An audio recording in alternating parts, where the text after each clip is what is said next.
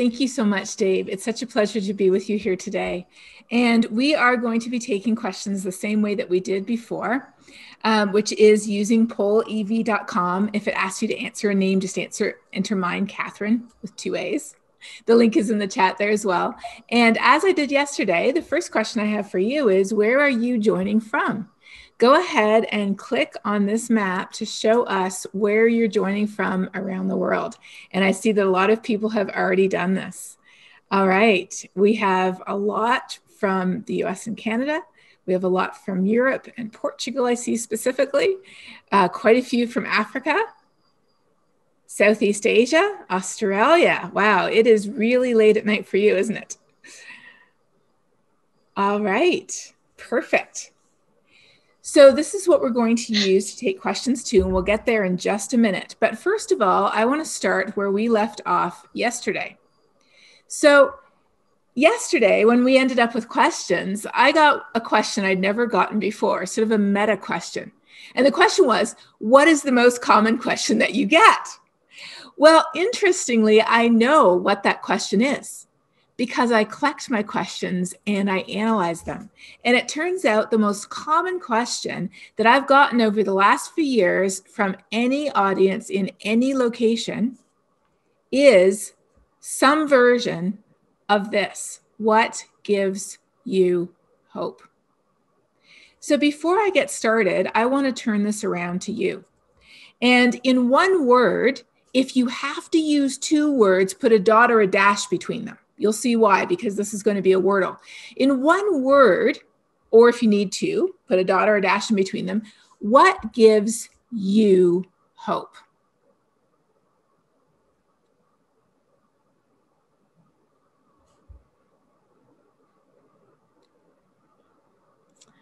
All right. As you can see, this is why I wanted you to put a dot or a dash if you have more than one word. But I know that somebody did put young people in there, children, Jesus, God, Christ, the resurrection,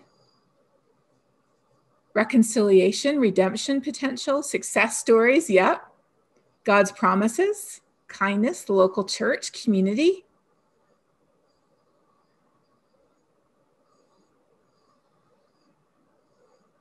Good. Human resilience, examples. Yep. Science, I love that. Common grace, stories, trees. So this is really interesting because you already know what I'm going to say. But I'm going to take these answers and break them down into three large categories. Categories which I prepared ahead of time, but which I see right here. Now, as we go along, you are able to put your questions here at any time. So you can write your question from now on in PollEv. You can upvote other people's questions because we won't necessarily have time to take all the questions at the end. So feel free to upvote the questions that you most want answered. And these questions will stay open for the rest of the presentation till the very end when Dave will come back on and we'll take some of these questions together. But let's start, first of all, talking about hope with where I don't find hope. I don't find hope in the science where it seems like every new study that comes out shows that climate is changing faster or to a greater extent than we thought, or the impacts are much broader or more expensive. I don't find hope in our scientific studies. It gets even worse. We see headlines like the European heat wave is five times likelier. Alaska had its most expensive wildfire season on record flooding, sea ice. As I talked about yesterday, and if you missed that talk, it was recorded, scientists can now put numbers on just how much worse climate change is making a given event. And although it's useful to have those numbers, it is not hopeful. I talked yesterday about how climate change is increasing the gap between the richest and poorest people in the world by as much as 25% since the 1960s. I mentioned how the United Nations has warned that climate change could undo the last 50 years of development, global health, and poverty reduction. So often, when people see these warnings, these dire threats, they turn in our world to politics for hope. But we know that there hasn't been a lot of hope in politics either. The last four years of the United States was just one headline after another of negativity and rolling back sensible regulations and inaction. Even today, people pinned a lot of hope on the new US president being reelected. And yes, he did rejoin the Paris Agreement. And yes, he did set targets for the United States. But globally, we're nowhere near the Paris targets. Currently, our pledges and targets will end us up at about two and a half degrees, and the Paris targets are between one and a half to two degrees. And a, a new a news article that one of my colleagues just sent me the other day was talking about how the White House is downplaying the risks and saying, well, you know, we just need some incremental changes and all will be well. It's not just what's happening in the United States. In the UK, a study a few years ago found that Tory members of parliament were five times as likely to vote against climate action in Canada, when I analyzed all of our party's climate plans, which the good news is they all had climate plans, it turns out the conservative plan was actually to increase emissions. In Australia, the coal industry and the Murdoch media has an iron grip on climate action. And when we turn to social media, it looks even worse. I get um, messages like this on a daily basis. This is just a random sample, ones I specifically picked that are related to our faith. When you're a scientist and you're telling people climate is changing, humans are responsible, the impacts are serious, we need to act now, like a physician warning of the dangers of smoking or poor diet or poor lifestyle choices, and you get told that you're a fraud, that you should be arrested for doing so, that you are going against what the New Testament says, it's really hard to find hope in that. So I did what I actually did today is I turned this question around and I said, what gives you hope? And I asked people that. And I wanted to be clear, though, too, what hope is not, because often hope, I've found out, is a very charged word. There's a lot of people that when you say the word hope and when you say we need hope, they'll say, no, we don't need hope. We don't need hope. Hope is not what we need. We need courage or we need anger or we need action, but we don't need hope. It's interesting that that word hope invokes such a strong reaction. And what I've found is typically it's because they're reacting to a false sense of hope what hope is not. Hope is not a Pollyanna type hope. I don't know if you remember the book Pollyanna, but I read it when I was little. And that was the idea where you just say, oh, well, if I just think of everything as being good, if I just imagine everything as being good, if I just focus on the good, if I just wish myself into hopeful thinking and positive thinking, everything will work out great. A lot of people still think when we say the word hope that that's what it is people often view hope too as simply burying your head in the sand. If I don't think about it, if I don't look at it, if I don't hear anything about it, then I'll stay hopeful. But that's not real hope. That's false hope. That is not what hope is. Real hope, first of all, recognizes the true risk. You look it in the face and you realize just how bad it is. That's step number one. Real hope accepts that success is not inevitable or even guaranteed. But real hope also provides a bit a vision of a better outcome or a future, something that you're heading towards, not only something that you're running away from. And this is consistent with the vision of hope that we see in the Bible. In Romans, the Apostle Paul is talking about hope and he begins in a very unusual place. He doesn't begin with positive thinking. He doesn't begin with cushy circumstances. He doesn't begin with, uh, you know, everything is right with the world, you know, just close your eyes, close your ears, you know, don't listen to anything, just think positive thoughts and it'll all be all right. No. What's the first word here? The first noun? The first noun is suffering. He says, We know that suffering produces perseverance, perseverance, character, and character is what ultimately produces hope. And hope does not disappoint us, as other translations say, or put us to shame because of the love of God that's been poured out into our hearts. So, hope is not closing our eyes to the realities of just how bad it is. Hope is not failing to acknowledge the suffering, it is acknowledging it fully recognizing just how bad it is, recognizing that the science is bad, the politics is bad, the discourse is bad. And that's the beginning of hope. So I turned this question around, like I mentioned, and I asked hundreds of people what gives them hope. And I sorted their answers into categories. Very interesting. And you'll see a lot of these same categories in your answers before. I want to focus on three of these categories. The first category is the biggest one. It's almost 40% of people's answers. It related to what other people are doing. So, adult leaders and advocates, technology, innovation, movements, organizations, people collaborating and talking with each other, all of that falls into one big bucket of what people are doing. So, let me give you some examples of this and then explain why this gives us hope. So, people like to hear stories of innovators like uh, Ball State University, that has the biggest geothermal system in the United States with over 36,000 uh, geothermal boreholes to power their campus.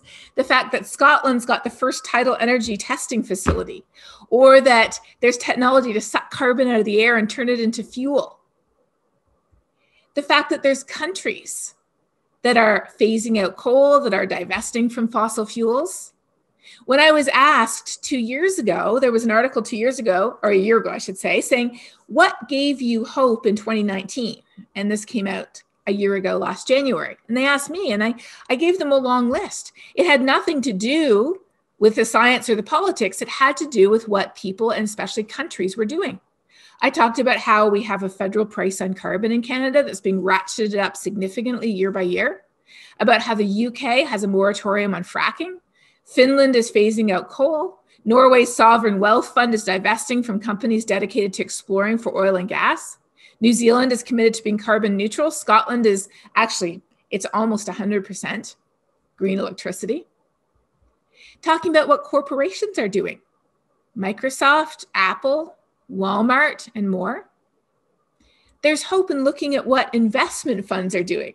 And I actually love this quote from the president of the Rockefeller Brothers Fund. It said, John D. Rockefeller, the founder of Standard Oil, moved America out of whale oil and into petroleum. And we are quite convinced that if he were alive today, as an astute businessman looking out to the future, he would be moving out of fossil fuels and investing in clean, renewable energy. That's a pretty hopeful statement, isn't it? In 2014, 2014, seven years ago, was when fossil fuels lost the race against renewable energy. That was the first time where the world added more clean energy that year than more new coal, oil, or gas sources of energy. And it's happening in unexpected places and ways in Texas, in India, in China. It's happening in, like I talked about yesterday, some of the poorest places in the world where they have millions of people living in energy poverty. They don't have access to massive resources of the coal, gas, and oil that the North America, Europe, and the Middle East has but they have plenty of sun and plenty of wind. And because of that, their lives are being revolutionized by clean energy.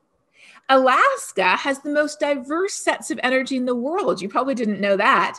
They have they have so many different types of energy. They had a whole atlas of it. They do have solar, they do have wind. They use all kinds of different sources. There's hope in faith-based organizations like A Rocha of people getting together and saying, "Yes, we do want change and working together, it can happen. So, what's the scientific word for what we're talking about here? The scientific word is efficacy. It was coined by a psychologist back in the 1970s who understood and explained how people are willing to change if they feel like what they do will make a difference. And study after study with climate change has shown that people often don't feel like they can make a difference. In the United States, more than 50% of people feel helpless when they think about climate change. Over 50% of people don't know where to start. This survey over here on the right hand side surveys, um, I think they surveyed over 60 countries. Not all of them are shown here, but most of them. And I want you to focus on the pink dots here. The pink dot is could I be doing more? There's some countries where people say, yes, I think I could be doing more. Spain, Italy, Thailand, Vietnam. Vietnam is actually at the top of this list.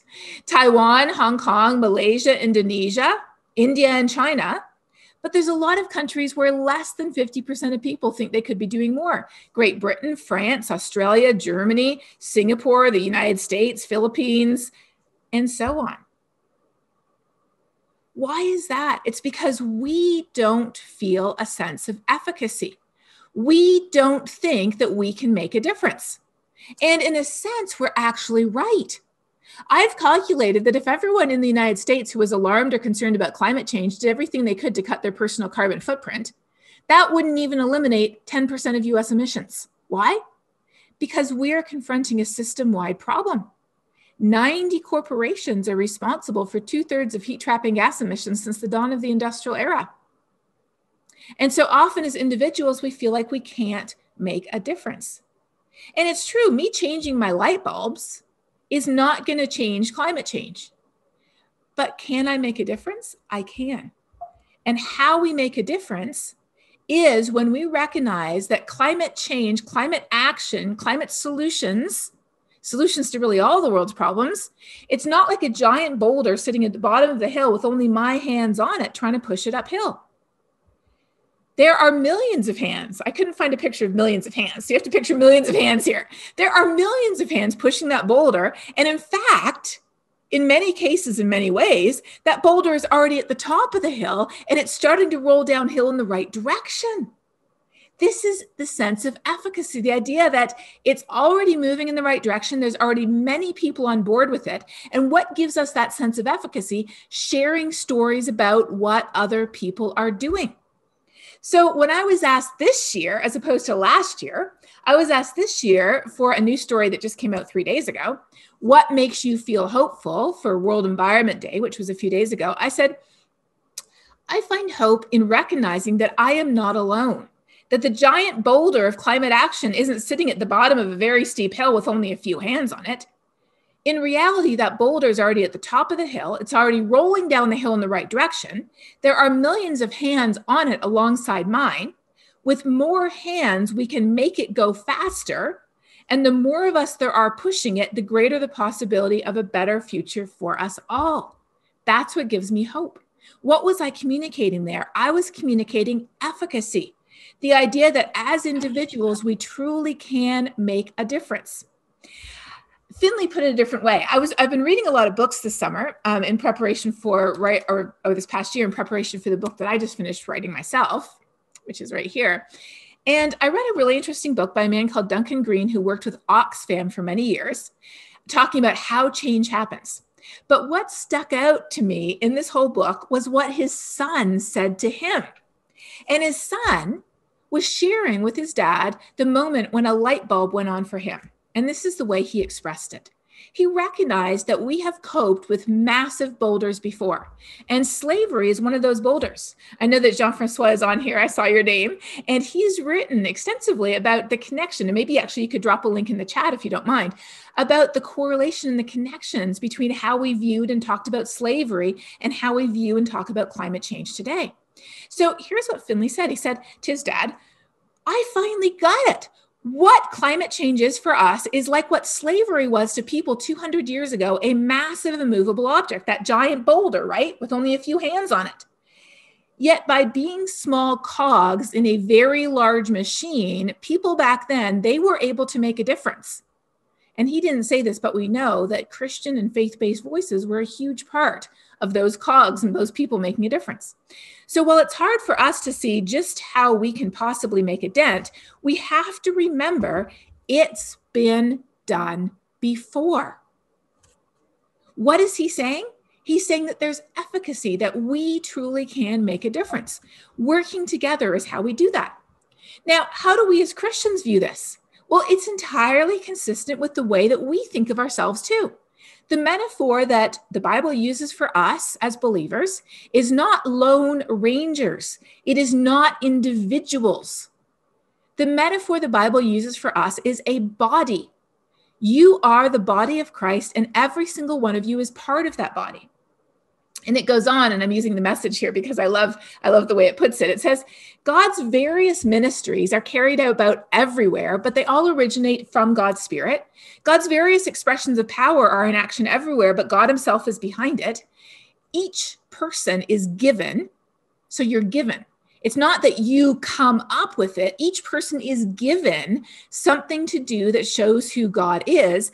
Everyone gets in on it and everyone benefits. Isn't this hopeful? We are not alone. We are not depending on our own self effort. God is the spirit behind it. God is the motivation behind it. God has given us something that we can do. Each of us has something different to do. And each of us is contributing to the greater whole. We all have a chance to get in on it, and we all have a chance to benefit. This is efficacy. This is understanding that together, not only we can make a difference, together we can literally change the world. And in fact, if we look back in history, we already have. So that was the first category working together and hearing about people who are doing things. The second biggest category, 23%, is young people, youth, and children. They give people hope. And I saw this popping up there in your answers as well. So I decided to dig into this a little bit more. What is it about young people or children that gives us hope?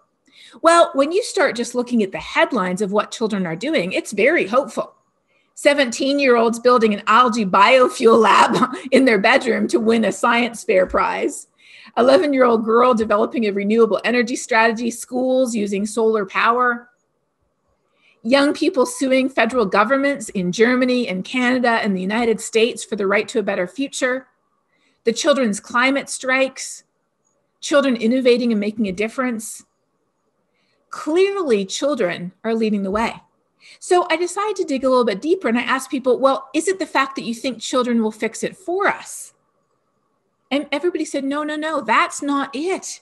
It isn't that we're depending on children to fix it for us. It's that we find children, whether it's our own children, that's me with my baby many years ago, or, or children like Greta, we find children to embody to embody what? To embody the potential of future. There was a P.D. James novel that was written many years ago, but it's unexpectedly come back into popularity this year because it talks about a global flu pandemic that sweeps around the world. And as a consequence of that pandemic, people are not able to have children anymore. They don't realize it all at once, but they notice that birth rates are dropping off. They're just not, you know, maternity wards aren't filling up. And suddenly people realize there are no more children. And because of that, that world becomes a completely hopeless place. As one character puts it in this novel, it was reasonable to struggle, to suffer, perhaps even to die for a more just, a more compassionate society but not in a world with no future, where all too soon the very words justice, compassion, society, struggle, and evil would be unheard echoes on an empty air. Why? Because there was no future as embodied by the next generation. So, why do children, why do young people, why do our own children and grandchildren, why do hearing about the children's climate strikes, why does that give us hope? It gives us hope, as this World Vision post said just four days ago. And I love that it was exactly on topic. It said, in a changing climate, children are the ambassadors of hope. They are the ambassadors of change. Why? Because they are the future. Remember, I talked about how real hope offers a vision of the future. If there is no future, why do anything? Children embody that future. They are, we often talk about our children as a gift from God, and they are certainly gifts from God because they are the future. We continue through them, and that is why we're fighting. So, as humans, our hope is based on the idea of a future. And for most of us, the next generation embodies that future. Even after we're long gone, it will continue. So, how does this relate to what we believe? Well, hope is definitely tied to the idea of a future. And in Jeremiah, it says, For I know the plans I have for you, declares the Lord. They are plans for good and not for evil. For what? To give you a future and a hope. In other words, future and hope are nearly synonymous here. And that's why we often look to young people, to children, as a source of hope because they embody our future. So, lastly, you'll notice, and you probably picked up on this when I first showed this, that faith and God and spirituality are here. And it came in at number eight. But it's really interesting because I think that this is already woven through a lot of the other things that we've talked about. And this, this, these were mostly secular audiences that I was serving, by the way. If, if we ask Christian audiences, I think this would be quite different. But it still showed up. And how does that relate? Well, when I first started to connect the dots between what I studied and uh, my faith, I did what any good scientist would do. I went out to the bookstore and I bought all the books I could find. And back then, about 15 years ago, there weren't a lot of books. There was Cal DeWitt's Earthwise, there was Ed Brown's Our Father's World, and there was the Green Bible. So I bought these books, and I think I bought maybe two or three other books. There wasn't a lot to choose from back then, and I read them. And in reading through the Green Bible, there were a lot of verses that specifically related, as I talked about yesterday, they specifically related to non human creation. So I just got a list yesterday. Somebody asked me to contribute a devotional to um, to a, a set of Bible readings, and they said, "Here, I'll send you a list of Bible verses, and you can pick one of them." And they said they came from the Green Bible. So I started to look through, and sure enough, just as in the Green Bible, it was related to animals, it was related to plants, it was related to livestock, animals, rains, land, trees. And that's all well and good. But I didn't see any verses that related to us as humans, to how we react to this issue, to what gives us hope, to how we respond. So I emailed them back last night. This was just happening yesterday after I gave my talk. And I said, I, w- I want to talk about the verse that's most meaningful to me in responding to these issues, and it's not on this list. For me, the most meaningful verse comes from First Timothy, and it begins with this it says, God has not given us a spirit of fear. Why is this so important and why is this so relevant? Because when we look at what's happening to our world, and when we look at the way what's happening to our world is messaged and communicated to us, often fear is the dominant message.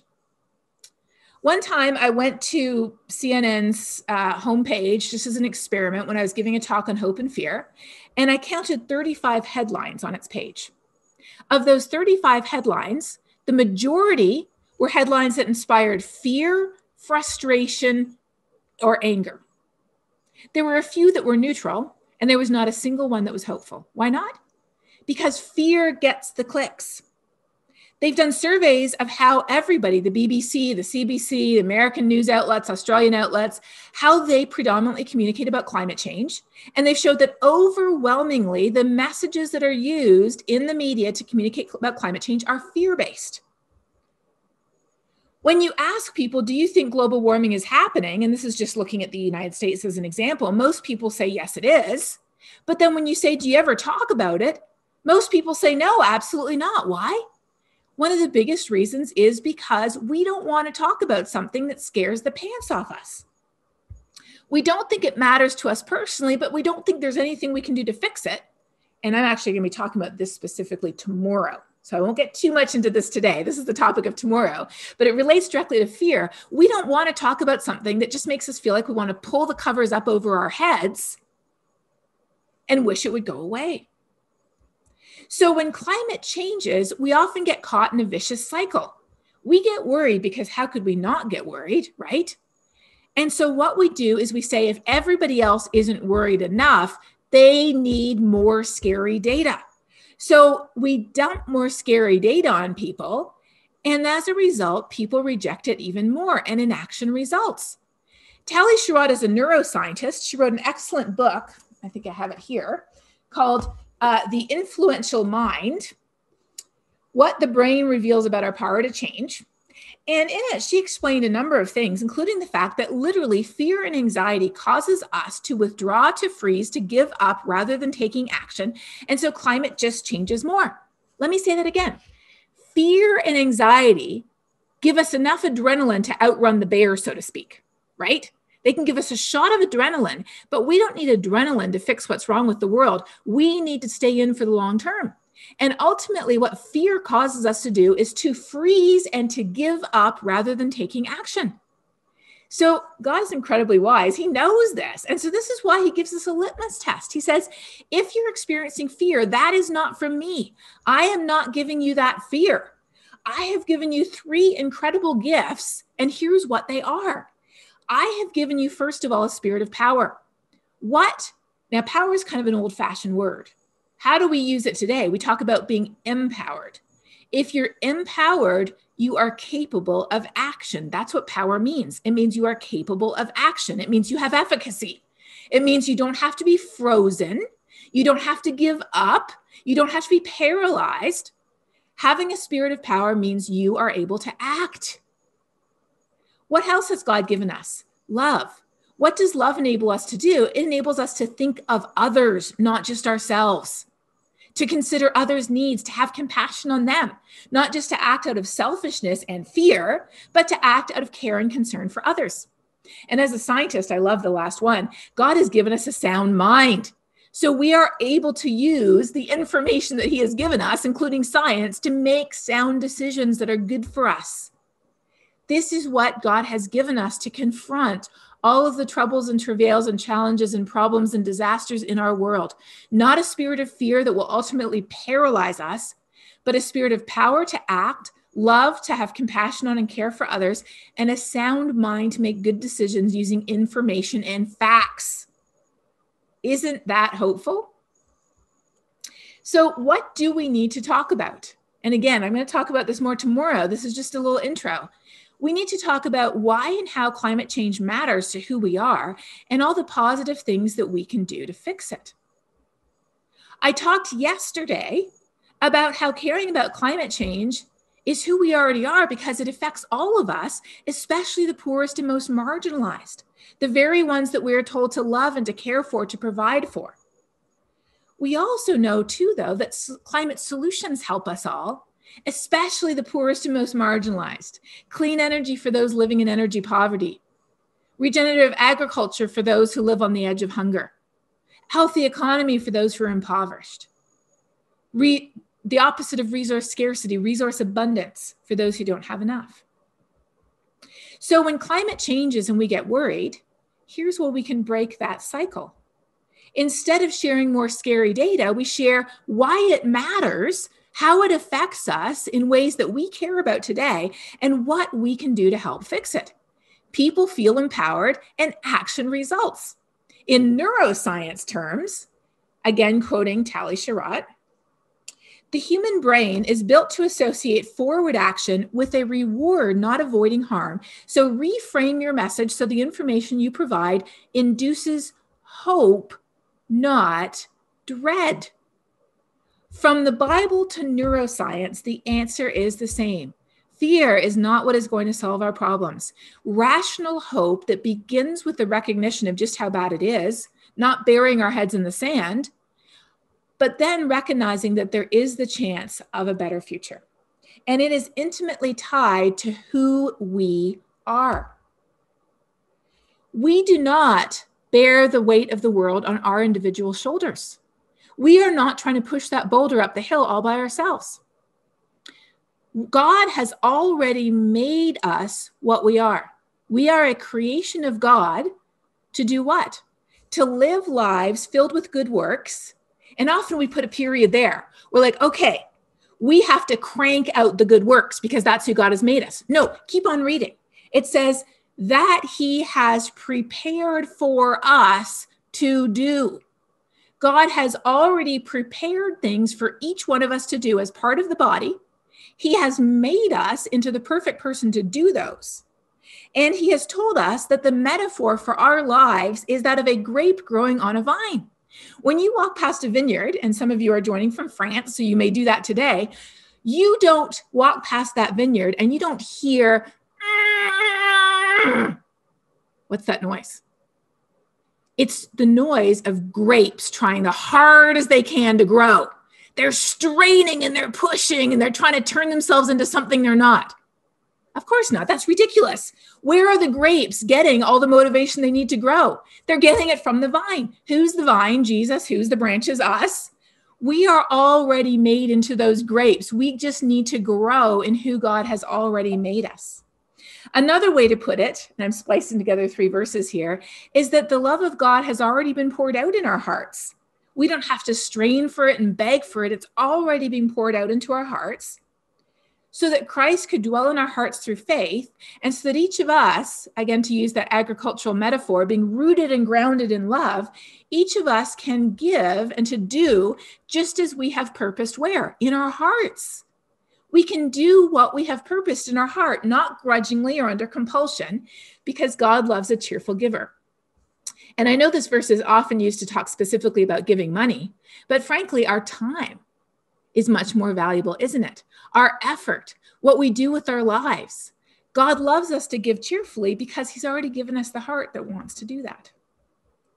So, in conclusion, when we talk about hope, we, we believers, we Christians can start with the sure knowledge that God has already made us into the perfect person to love others. And remember, I said yesterday, what is climate change other than a failure to love? What is poverty and hunger other than a failure to love? God has already made us the perfect person to love others, to care for their needs, to act together in community with a sense of efficacy belonging to that body that gives us hope.